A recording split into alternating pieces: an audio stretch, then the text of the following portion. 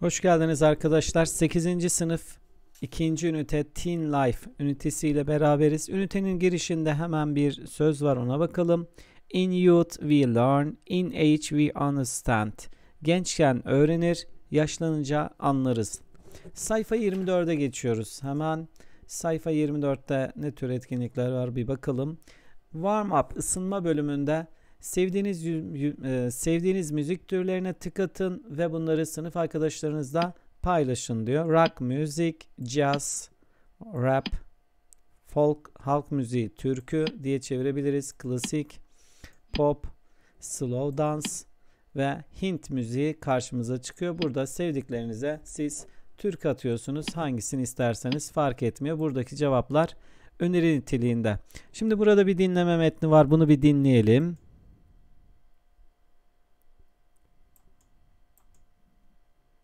Daha sonra da boşluğa gelen kelimeyi bulacağız. music preferences of the 8th grade students in our school. I interviewed with 60 students. Here are the results. 16 of the students prefer rap music. 15 of them enjoy listening to rock music. 13 of them love classical music. 7 of them like folk music. 5 of them are fond of Indian music. Surprisingly, most of the students dislike pop music. Just four of them prefer it. Evet, boşluğa gelecek kelimeler böyle. Bir burayı çevirelim. Sevgili arkadaşlar, ben 8. okulumuzdaki 8. sınıf öğrencilerin müzik tercihleriyle ilgili bir bazı araştırmalar yaptım ve 60 öğrenciyle görüştüm. İşte sonuçlar diyor. 16 öğrenci rap müziği tercih ediyor. 15 öğrenci rock müzik dinlemeyi seviyor. 13 öğrenci klasik müzik seviyor. 7 öğrenci halk müziği, türkü seviyor. 5 öğrenci Hint müziğine düşkün. Şaşırtıcı ki birçok öğrenci pop müzikten hoşlanmıyor. Sadece 4'ü onu tercih ediyor. Evet bu bölümde diyor ki ne tür müzik tercih edersin, seversin, sevmezsin, neden? Kutudaki sıfatları kullanarak bunu ifade et. Burada enerjitik, enerjik demek, harmonik, uyumlu, ahenkli, impressive, etkileyici, terrific, müthiş, harika, mükemmel, unbearable, katlanılmaz, dayanılmaz, tahammül edilemez demek. I prefer pop music because it is trendy. Ben pop müziği tercih ederim çünkü o trend, çünkü o moda, son moda demek. Trendy kelimesinin eş anlamlısı fashionable ve stylish kelimesi onu da hatırlatalım arkadaşlar. Eş anlamlı, zıt anlamlı kelimeler sınavlarda çok karşımıza çıkıyor. Bu yüzden bunları iyi öğrenmek lazım. Mesela unbearable'ı öğrenirken constant, dayanamamak, tahammül edememek kelimesini de beraber öğrenmek lazım. Hint müziği enerjik. Bu yüzden ben onu severim. Ben rock müzikten hoşlanmam çünkü katlanılmaz diyor. Burada kelimeler var. Enerjik, uyumlu, etkileyici, müthiş, katlanılmaz demek. Bunları çevirmiştik. Şöyle tekrar geçelim. Burada ikili çalışın. Kampla ilgili beyin fırtınası yapın. Fikirlerinizde zihin haritasını doldurun. Kamp deyince aklınıza ne tür kelimeler geliyor? Bunlarla burayı doldurmamız isteniyor. Öneri niteliğindeki cevabımız kamp ateşi, çadır, uyku tulumu ve sivrisinek kamp deyince akla gelen şeylerden bazıları. Siz bunun dışında torch, el feneri diyebilirsiniz. Rope, ilf diyebilirsiniz. Pocket knife, çakı diyebilirsiniz. İzcilikle ilgili şeyler yapanlar bunları daha iyi hatırlayacaklardır arkadaşlar. Bu konuda tabi Cengiz Çakır ve Ezel Ballı hocalarımızın da hazırladığı sunumları da derslerimizde kullanıyoruz. Onlar muhteşem sunumlar hazırlıyorlar. Devam edelim arkadaşlar diğer sayfayla. Sayfa 25. Burada bir okuma parçası var. Bunu çevireceğiz. Bakın bu torch, bu rope, bu da knife. Kamp çok dinlendirici bir aktivitedir. Atrasan, Fethiye ve Köyceğiz Türkiye'deki büyüleyici kamp yerlerinden bazılarıdır. Her yaz bizim okulumuz Antalya Atrasan'da bir gençlik kampı düzenler. Ben dostlarım Atakan, Korkut, Büşra ve Ayça ile katılırım. Biz ip veya halat anlamı da var. İp, çakı, el feneri, uyku tulumu ve benzeri gibi şeyleri bizim temel ekipmanlarımız olarak alırız. Diye ilk paragrafı bu şekilde bitiyor. İkinci paragraf biz görevlerimizi paylaşırız. Duty, görev, vazife demek. Atakan ve Büşra çadırımı kurar. Ayça kibrit ile matches kibrit demek. Kamp ateşini burn yakmak. Kamp ateşini yakar. Korkut ve ben her gün kahvaltı hazırlarız. Gündüz vakti biz bazı kamp aktiviteleri yapmayı seviyoruz. Kahvaltıdan sonra biz genellikle doğa yürüyüşü yaparız. Bizim bir sırt çantasına, pusulaya ve doğa yürüyüş için bir haritaya ihtiyaç duyarız. İhtiyacımız var. Biz öğleden sonraları okumayı ya da masaüstü oyunları, ahşap oyunları işte satranç gibi oyunlara diyoruz board games oynamayı seviyoruz. Ve son bölüm, son paragraf At night, geceleri biz kamp ateşinin etrafında otururuz. Büşra bize gitar çalar ve biz hep, bir, hep birlikte şarkı söyleriz. Ayrıca biz kamp ateşinde pardon ateşin üzerinde tatlı olarak marshmallowlarımızı kızartmayı seviyoruz.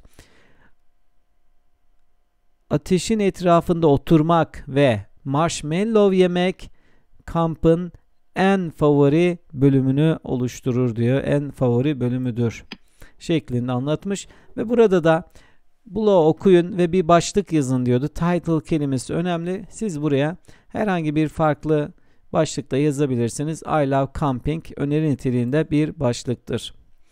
Bu e, metinden yola çıkarak arkadaşlar aşağıdaki bölümü dolduracağız. Metni bloğu tekrar okuyun ve metne göre boşlukları doldurun diyor. Biz her yaz nokta noktaya kampa gideriz. Burası Atrasan olacak. Çadır kurmaktı. Çadır kurmak Atakan ve Büşra'nın görevi. Korkut ve ben her gün yemek hazırlarız. Biz tatlı olarak marshmallow kızart kızartırız, kızarttık diyor ve kampımızın en favori bölümü aynen ateşin etrafında oturmak ve marshmallow yemektir. Bir sonraki sayfayla yolculuğumuz devam ediyor arkadaşlar. Bu bölüm ünitemizdeki önemli kelimelerin olduğu bölüm oluşturuyor. Burada bu kelimeleri ve kullanımlarını iyi bilmekte fayda var. Kutu içindeki cümleleri çalışın. Yine ikili çalışın diyor. Her birine bir cümlede siz ekleyin. Sevdiğimiz ve sevmediğimiz şeyleri ifade etme yapısı. Ben severim, severim, severim. Going to concert, konsere gitmeyi severim. Ben başkalarını aşağılamaktan nefret ederim. Ben başkalarını aşağılamayı sevmem. Insult kelimesi aşağılamak, hor görmek demek. I am not a snob. Ben bir kibirli insan değilim. Snob züppe, kibirli, kendini beğenmiş, ukala gibi çevirebilirsiniz. Burnu havada diyebiliriz arkadaşlar. Ben burnu havada, başkalarına tepeden bakan bir insan değilim. Öneri niteliğindeki cümlemiz bu. Burada tercihleri ifade etme. Prefer'ı arkadaşlar iki tercihimizin arasını da to kelimesini koyarak koyarak kullanıyor idik normal şartlarda. Tabi sadece tercih ettiğimiz şeyi söyleyip tercih etmediğimiz söylemeden de kullanabiliyoruz. Burada öyle bir cümle görüyoruz. Ben hip hop konserlerini tercih ederim. Bence onlar müthiş. Ben haberleri internetten okumayı tercih ederim. Tercih yapısı ile ilgili cümle. İşte burada ben yüzmeyi koşmaya tercih ederim. Prefer yapısında arkadaşlar önce tercih ettiğimizi araya to koyup sonra da tercih etmediğimiz şeyi söylüyoruz. Fikir belirtme bölümünde ise kişisel fikirlerimizi belirtirken tabi I think, to me gibi ifadeler de kullanıyoruz bu bölümde. Sen akşamları ne yaparsın? Ben genellikle ödevimi yapar. Ayrıca müzik dinlerim, rap severim ve dürüst olmam gerekirse asla pop müzik dinlemem, ona katlanamam. Bence o katlanılmaz. Rarely ve seldom nadiren demek. Ben nadiren tiyatroya giderim. Ben kamp yapmaya düşkünüm, hayranım. Fond of ve keen onu düş bir şeye düşkün olmak, bir şeye hayran olmak anlamında kullanıyoruz. Örnek niteliğimizdeki cümle ben daima fellows fun'ı derslerimde kullanırım şeklinde bir örnek cümle verilmiş burada. Siz daha farklı örnek cümlelerde yazabilirsiniz. I was, I always go to picnic every weekend in summer gibi cümle de olabilir. Yazın her hafta sonu pikniğe gideriz daima. Bu bölümde arkadaşlar regular activities, daily activities dediğimiz, daily routine dediğimiz kelimeler var. Ben her hafta sonu basketbol oynarım. Biz pazar günleri TV izlemeyiz. O düzenli olarak ödevini yapar. O akşamları bisiklete binmez. Sen her gün yüzer misin? Hayır yüzmem. Burada da şunu hatırlatalım. Yardımcı fiille sorulan sorulara biz yes ya da no ile cevap veririz. Hangi yardımcı fiille sorulmuşsa cevapta da büyük çoğunlukla aynı yardımcı fiili kullanıyoruz. Buna da sorularda dikkat edelim. Ayrıca soru kelimesiyle sorulan sorulara da yes ya da no ile cevap verilmez. Bizden ne isteniyorsa onu söyleyerek cevap veririz. Burada olduğu gibi sen akşamları ne yaparsın? Yes ya da no diyemeyiz buna. Ne yapıyormuşuz? Ben genellikle kitap okurum. Ne yapıyorsak onu söyleriz. Ama buna yes ya da no diyebiliriz. O iş yerine arabayla mı gider? Yes she does. Evet arabayla gider. No she doesn't olsaydı hayır arabayla gitmez demiş olurduk. Bununla da dikkat edelim. Zaten diyalog sorularında bir e, soruyu cevaplarken siz soru ve cevaba e, dikkat etmeniz lazım. Yardımcı fiille mi sorulmuş yoksa soru kelimesiyle mi? Bu da soru çözmenizi kolaylaştıracaktır. Burada ise o boş vakitlerinde ne yapmayı sever? O alışveriş yapmayı sever. Öneri niteliğindeki cümlemiz ise ben hafta içi günleri dışarı çıkmam. Sayfa 26'daki alt bölümdeyiz arkadaşlar. Activity 2. What do you do weekend? Sen hafta sonu ne yapıyorsun? Ben sınıf arkadaşlarımla basketbol oynarım. Biz spora düşkünüz.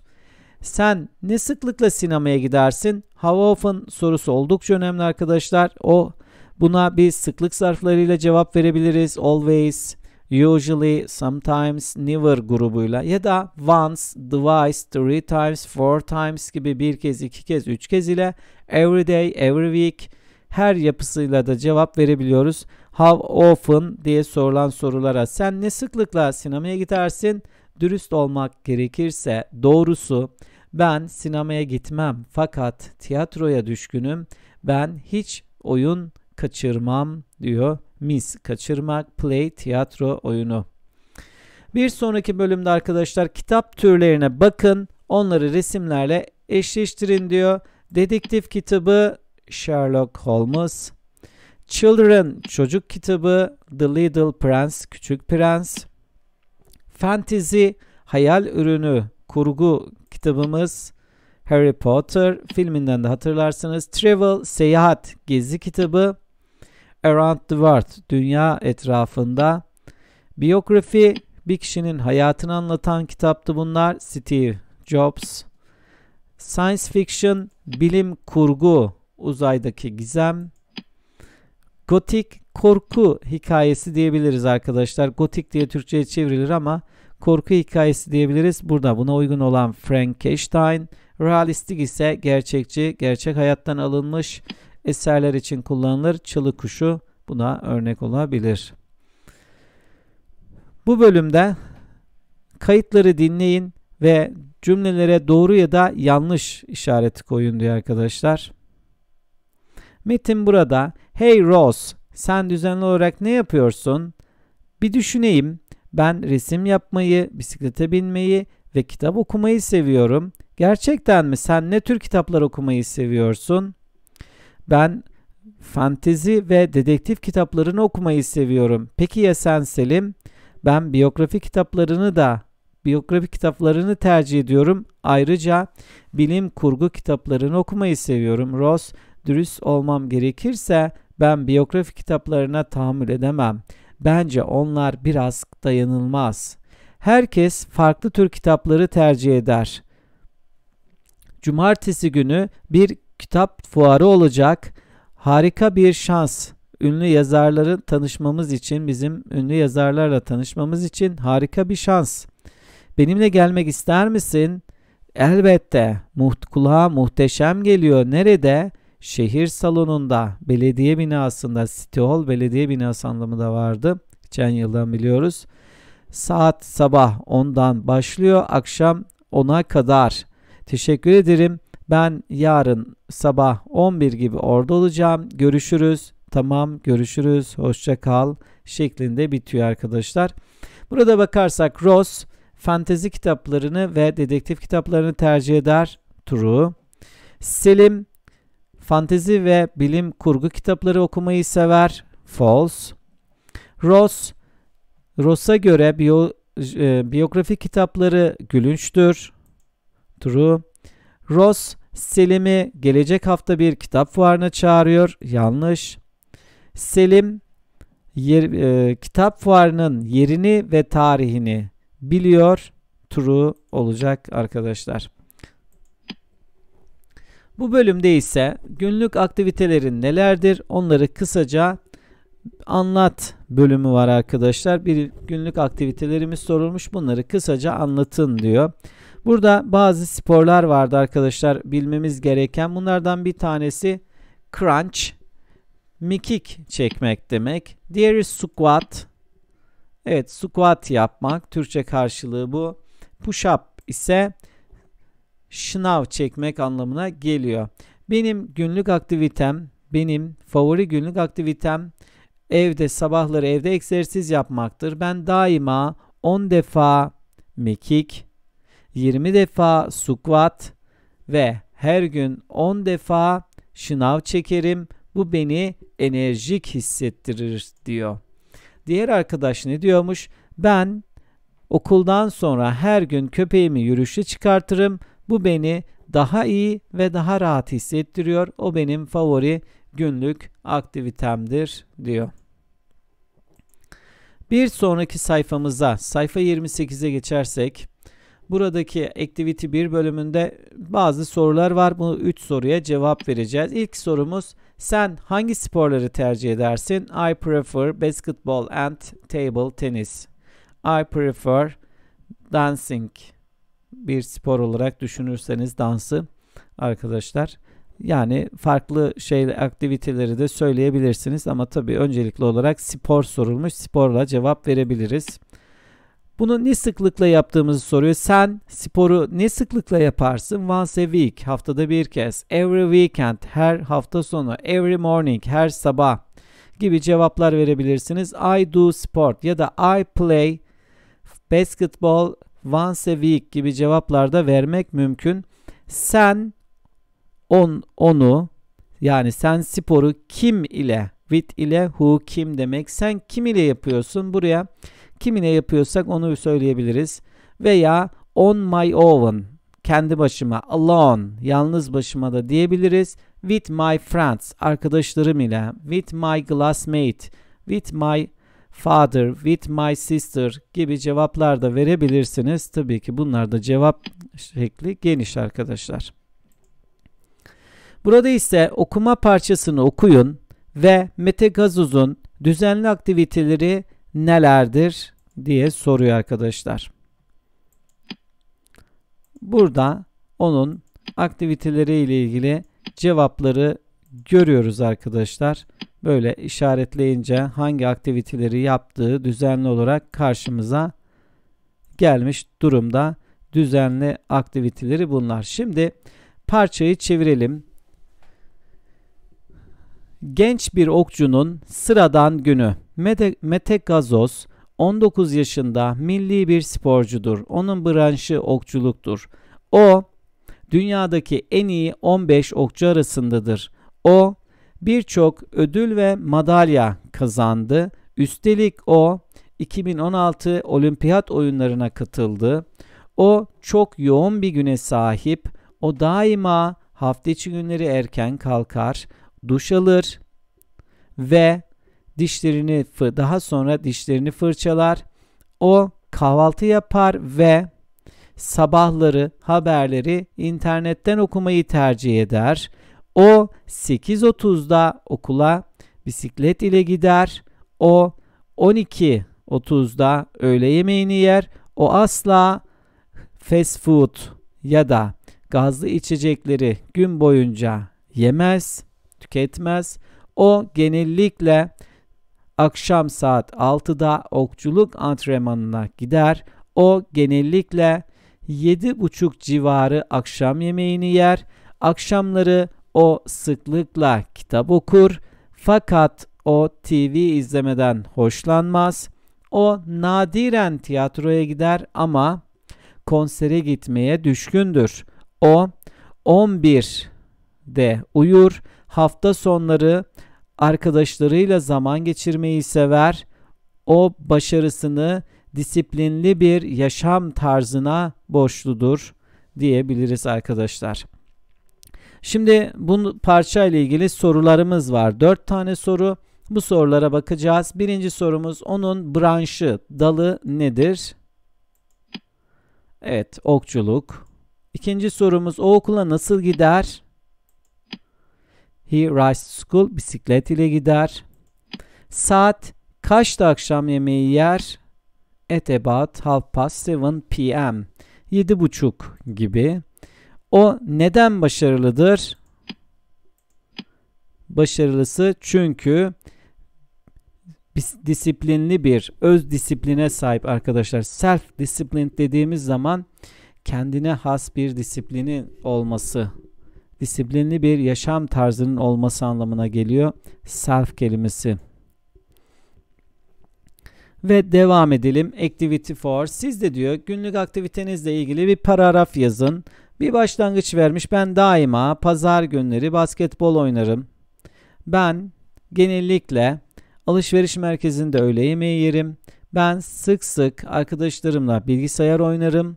Öneri niteliğindeki cevaplarımız.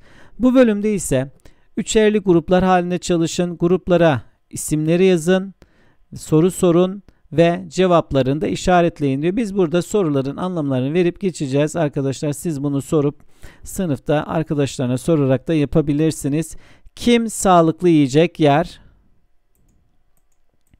İkinci sorumuz kim erken kalkmaktan nefret eder? Üçüncü sorumuz kim sinemada film izlemeyi sever? Dördüncü sorumuz kim dışarıda yemek yemeyi sever? Beşinci sorumuz kim bir müzik enstrümanı çalmayı sever? Altıncı sorumuz kim egzersiz yapmayı sever? Yedinci sorumuz kim ciddi konularla ilgili konuşmaktan nefret eder? Sekizinci sorumuz kim caz müzik dinlemekten hoşlanmaz? Dokuzuncu sorumuz kim seyahat kitapları okumayı sever? Onuncu sorumuz kim öğretmenleri ile iyi bir ilişki kurmayı sever diye bitiyor sorumuz. 11. sorumuza bakalım. 11. Kim arkadaşlarıyla kavga etmekten hoşlanmaz? 12. sorumuz kim pop müzik dinlemekten hoşlanmaz? Ve sonuncu sorumuz ise kim modayı takip etmeyi sever şeklinde bitiyor. Buralara sınıftan bunlarla ilgili arkadaşlarınız varsa yazabilirsiniz. Daha sonra sonuçları aşağıya cümle halinde de ifade etme çalışması var. Geniş zamanı kullanarak anlatmanız gerekiyor. Mesela burada Ahmet sağlıklı şeyler pardon sağlıklı yiyecek yemeyi sever şeklinde bir öneri cümlemiz yer alıyor. 30. sayfaya gelirsek burada Görsel sözlük tutmanız isteniyor arkadaşlar. Bu görsel sözlük tutmak evet kelime öğrenme, kelimenin hatırda, hatırda kalması, uzun süreli hafıza atılmasında falan çok faydalı bir yöntem yapabilirseniz ne ala ne güzel. Burada en iyisini yap diye bir şey var. Bir müzik grubunun daki kişilerle ilgili olan bu paragrafı, bilgileri okuyacağız arkadaşlar ve bu müzik grubunu tanımaya çalışacağız. Bakalım nasıl bir müzik grubuymuş. Biz biz hayat dolu gençleriz diye bir başlığı var arkadaşlar. We are youth life. Böyle çevrilebilir bilmiyorum. Farklı çevirilerde mümkün olabilir. Bakalım sonsuza kadar en iyi arkadaşlar müzik grubumuzun adı sonsuza kadar en iyi arkadaşlar. Grubumuzda 6 üye var. İlke ve Ufuk sanatçı, ben keyboard player'ım, Egemen ve Seval gitarist, Aydın bizim grubun bateristi. Biz 4 şarkılık bir CD'ye sahibiz. Adı biz Hayat Dolu Gençleriz. Bizim şarkılarımız genellikle gençler için. Biz pop müzik söylemeyi seviyoruz. Şarkılarımız ahenkli ve enerjiktir şeklinde bitiyor arkadaşlar burası. Burada kendinizi değerlendirme bölümü var. Burayı geçiyoruz. Şimdi activity bölümüne bakalım. Verilen kelimelerin eksik harflerini tamamlayacağız arkadaşlar. Evet tartışmak kelimesi çıktı bir de. İkincisinden ne çıkacak? Bakalım. Resimden de yola çıkarsak fashion moda kelimesi çıktı. Üçüncü kelimemiz saçma. Gülünç anlamına gelen eş anlamlısı absurd, ridiculous kelimesi çıktı. Bir sonraki kelimemiz snob, kendini beğenmiş, ukala, kibirli kelimemiz çıktı. Beşte ne varmış? Impressive, etkileyici kelimesi. Altıda honest, dürüst kelimesi. 7'de unbearable, katlanılmaz, dayanılmaz ve son kelimemiz 8'de ise genç, ergen kelimesi karşımıza çıkıyor arkadaşlar.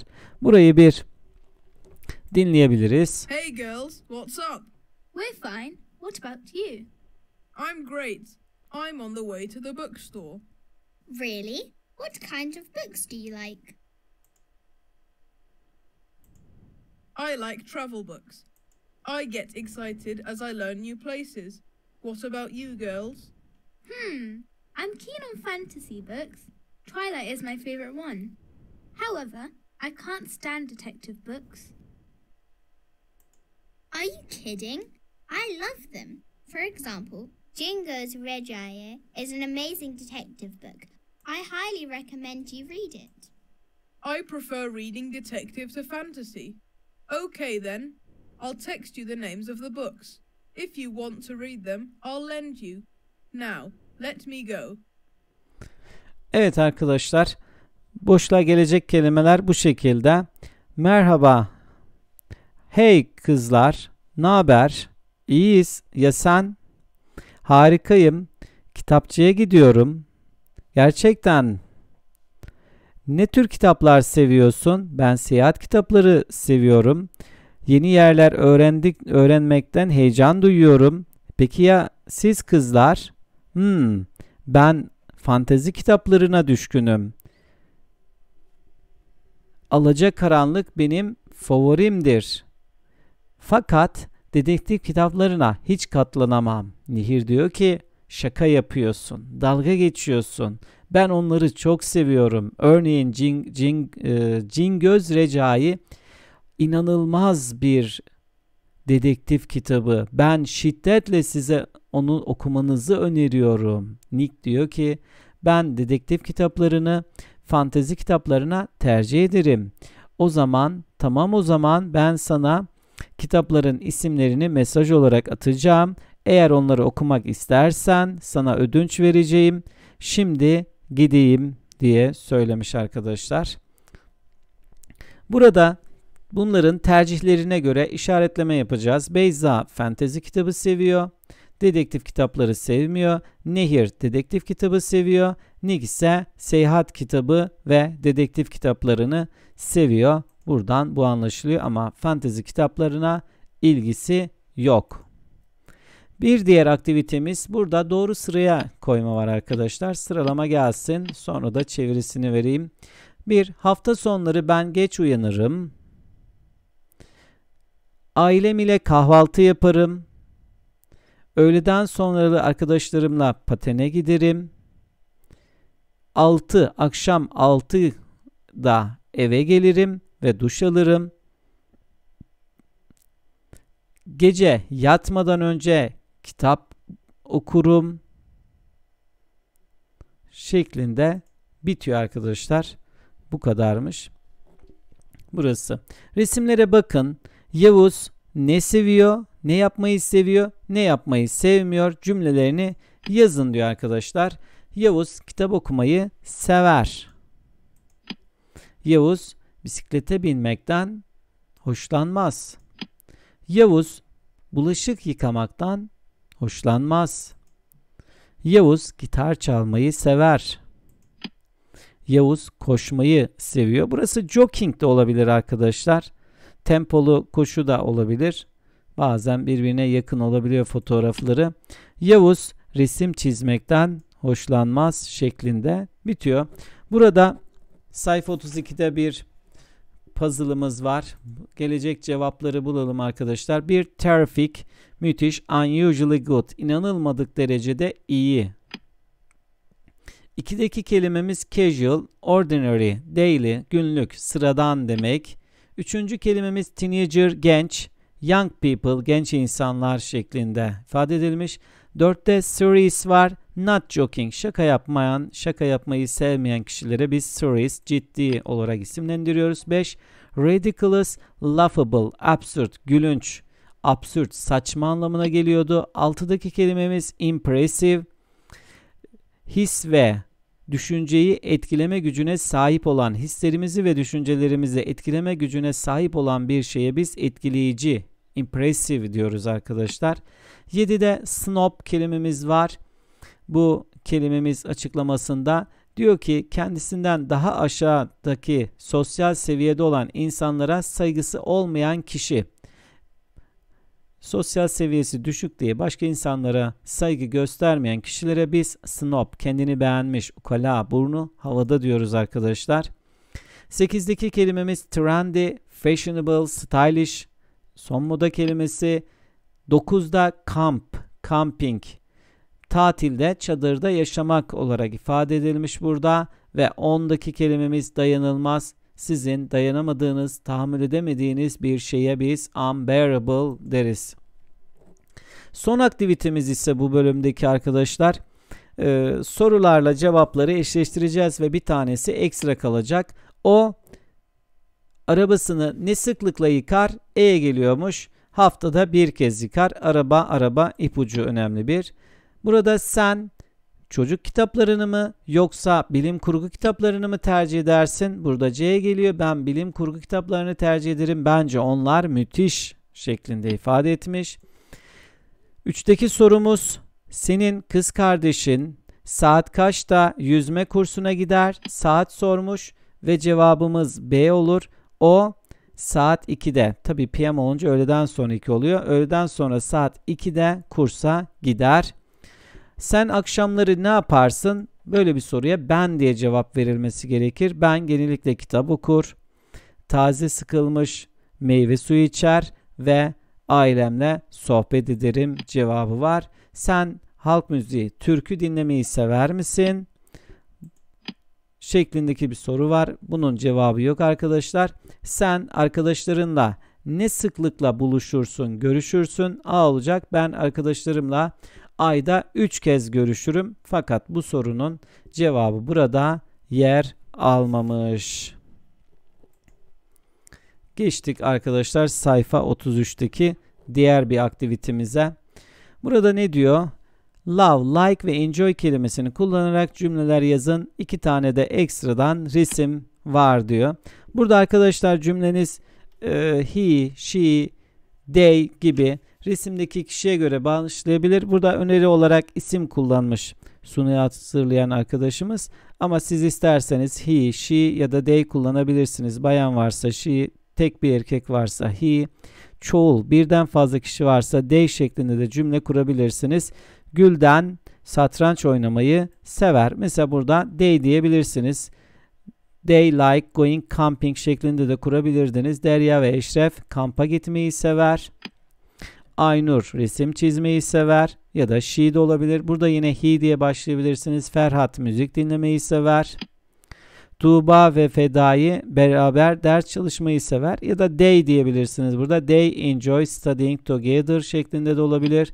She likes shopping ya da Gülname likes shopping. Emine loves cooking. Yeme Emine yemek yapmayı sever. He diyebiliriz. Fatih spor yapmayı sever. Özlem kitap okumayı sever. Burada da they diyebilirdiniz. Nilfer ve Gülden şarkı söylemeyi sever şeklinde bitirebiliriz. Ve sayfa son sayfamız 34. sayfadayız. İstanbul'un plakasını bulduk ve güzel bir yerde de bitirmiş oluyoruz bu sayede. Cümleleri düzgün sıraya koyarken arkadaşlar burada zaten size büyük olarak verilmiş ipucu olarak ama e, şuna da dikkat edebilirsiniz. Soru kelimesi varsa bir soru cümlesi olduğunu soru işaretinden anlıyoruz. Varsa soru kelimelerini en başa getiriyoruz. What gibi, what time gibi, when gibi, why gibi. Sonra do ya da does, emizar gibi yardımcı fiil varsa onu getiririz. Sonra özneyi, fiil, nesne ve zaman sıralaması şeklinde kuruyoruz. Cümle kurma sıralaması öyle. Ama siz ufak tefek hatalar olsa da sorun değil. Önemli olan dili konuşmak. Do you like eating fruit? Meyve yemeyi sever misin? İkinci cümlemiz annem bazen kek yapar. Üçüncü cümlemiz biz sınıfta arkadaşlarımızla tartışmayız. Dördüncü cümle onlar haftada iki kez bir araya gelirler. Beşinci cümlemiz o geceleri geç yatmaz. Altıncı cümlemiz sen ne sıklıkla seyahat kitapları okursun şeklindeydi ve son bölümdeki alıştırmamız görsel kampla ilgili bir kelime gruplarımız var aslında. Matches, kibrit, rope, ip, halat, torch, el feneri, meşale anlamı da var. Sleeping bag, uyku tulumu, tent, çadır, pocket knife, çakı, çok amaçlı bıçak oluyor, kompas, pusula ve son kelimemizde map, harita arkadaşlar. Böylece bir sunumuzun, bir dersimizin daha sonuna geldik. Yeni derslerde görüşmek üzere. Hoşçakalın.